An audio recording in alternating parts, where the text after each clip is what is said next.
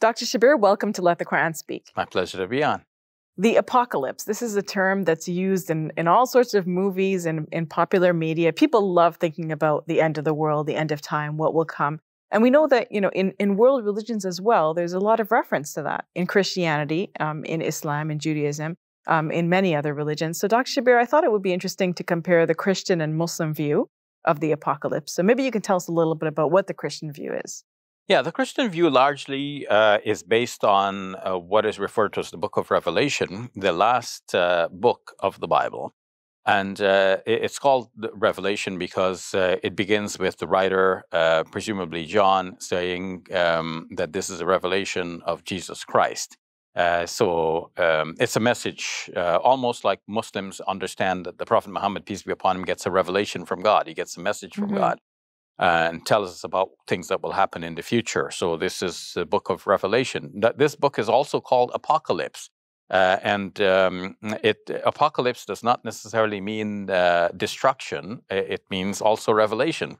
Uh, I was surprised to see that when I when I did some research into it. It could mean like an unveiling or exactly, revelation. Yes. Exactly. But because the book of Revelation uh, speaks so much about the destruction of the world eventually, or rather the you know, well, yes, the destruction of the world and the institution of a new earth, new heaven, uh, new heavens, and and a new earth. Uh, so uh, then that the term apocalyptic uh, tends to mean in our popular parlance uh, destruction mm-hmm. uh, or something is of apocalyptic proportions, which means uh, you know gigantic pro- proportions, because the wrath of God is poured out in massive portions in in the book of Revelation. So basically, the book of Revelation is a book of twenty two chapters. It uh, starts out with this idea that's a revelation from uh, Jesus to John the Apostle, uh, or John the, the, presbyter, the elder, and uh, uh, then it has uh, letters to the various churches that Jesus presumably is sending out to the churches, messages of warning to them because they've deviated from the right path. Their sins are outlined one after another. And then comes uh, all of this doom and, and gloom that God is uh, going to pour out his uh, wrath on, on the world. And then eventually the institution of new heavens and, and a new earth um, towards the end. So uh, some Christians see this as a nice closure to the Bible because the book of Genesis had this ideal world, uh, the Garden of Eden, and then the Bible is ending with the ideal world to come in the in the future. Um, now, uh, the, at one point, it uh, speaks of the uh, Christians being raptured up out from the world. Uh, and then comes a, uh, period of tribulation. Uh, so the Christians, good Christians, would not witness that period of tribulation.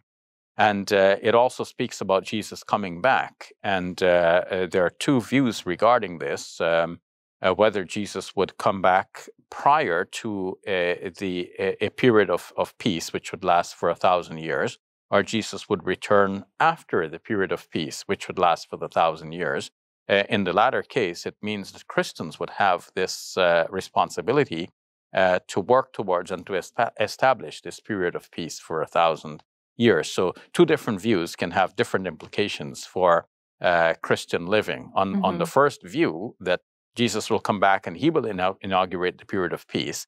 That could mean a, a or it could uh, lead to a pessimistic sort of assessment of the world, thinking that the world is so corrupt, nothing can fix it except the coming back of, of Jesus.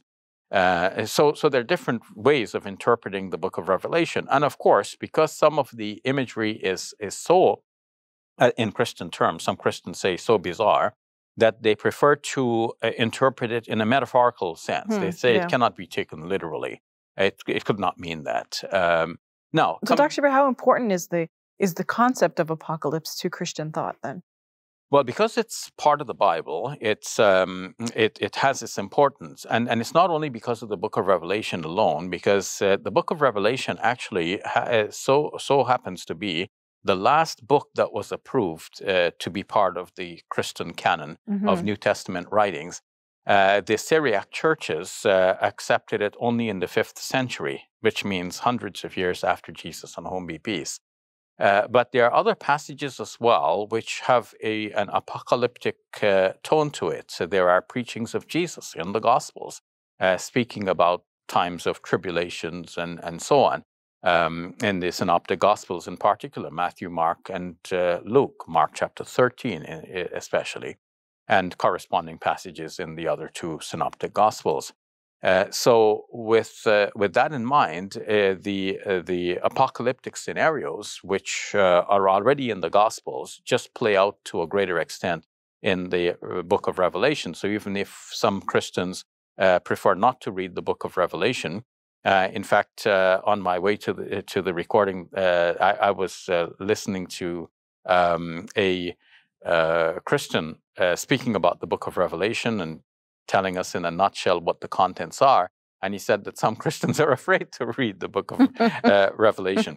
So, in, in any case, whatever the, the response to the book of Revelation, uh, the uh, preachings of Jesus already has this kind of apocalyptic overtone in the Gospels.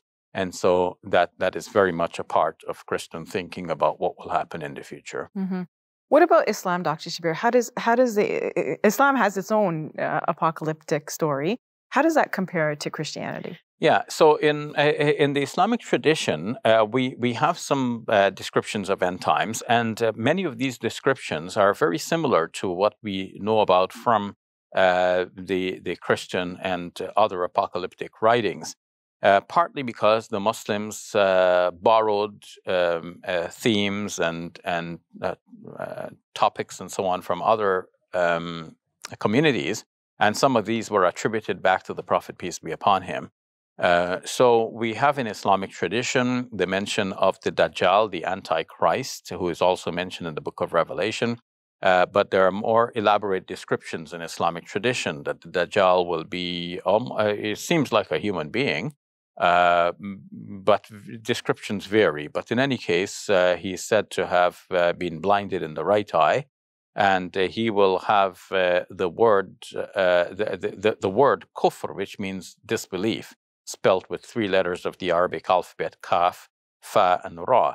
And this will be written on his forehead, and Muslims would recognize it immediately to know that this is really the Antichrist. He's called in Arabic Al Masih ad Dajjal, hmm. Uh, the, um, the, the false Christ. Um, um, using the same term al-Masih, which means the Christ or the Messiah, but the, no, with the ap- appendage that he's the false one. Uh, it, it is known from Islamic tradition that uh, Jesus, on whom be peace, will descend at a certain time after the Antichrist has already been wreaking havoc on earth.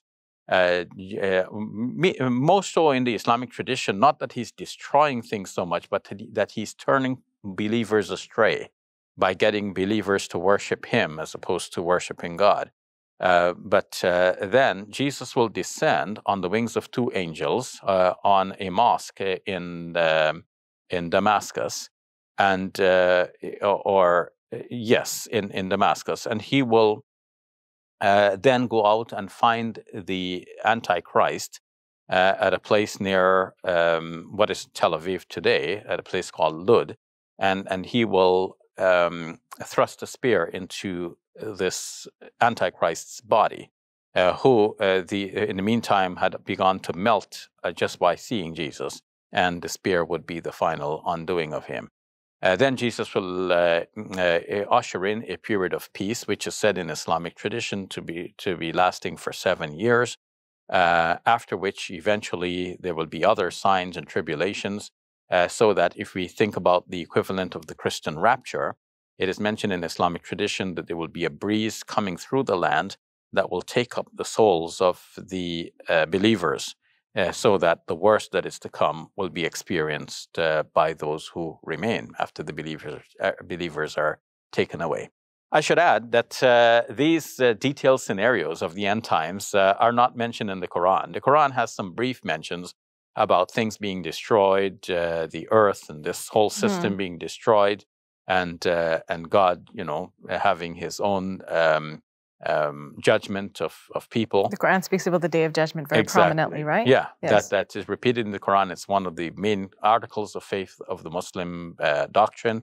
Uh, that we believe in God and we believe in the last day. Yeah, and that everything will be destroyed, and then the day of judgment will come. Will yes, and, and human beings will be kind of accountable for their for their sins, right? Yes. And then there will be some sort of, you know, heaven or hell, paradise or hell or whatever there is at the end, right? Yes, yes. In, in the in the Bible, in the New Testament in particular, the judgment is assigned to Jesus. Okay. In the Acts of the Apostles, uh, Paul declares that uh, um, uh, you know God has appointed one man to to judge the world, and uh, in the Quran, the judgment is um, to God alone. God is the supreme judge, and He will judge us on the day of judgment. That's why we say Maliki Yawmiddin. He's the owner of the day of judgment. Mhm. Thank you for your time, Dr. Shabir. You're welcome. If you enjoyed this video, click like and subscribe. And please donate to support our work at QuranSpeaks.com.